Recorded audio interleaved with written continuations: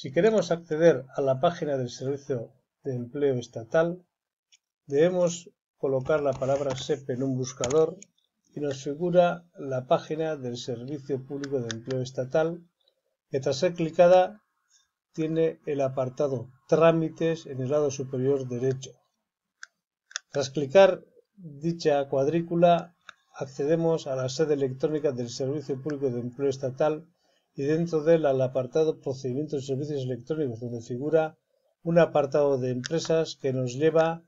a la formación dual en el lado derecho donde figura la solicitud de inicio de autorización de la actividad formativa y el manual de usuario. Tras clicar en la solicitud, tenemos la posibilidad de realizar una nueva solicitud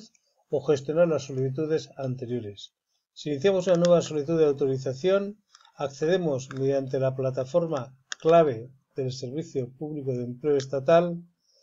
a las pantallas de autorización